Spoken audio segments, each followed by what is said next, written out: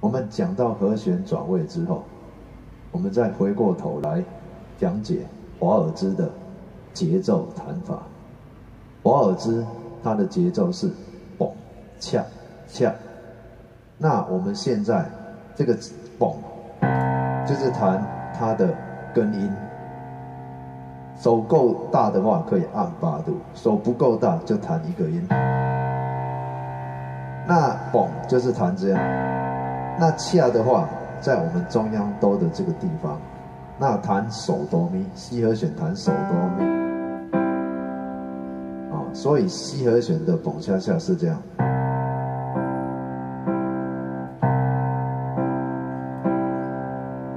好，那 F 和弦弹哪哆发？哦，那 F 它的根音就是发，啊，所以嘣恰恰。像，好，G7 弹首席发，那或者首席 Re 发也可以。如果四个音不好弹，就弹首席发。好，嘣 G 的话是嗦，所以嘣恰恰。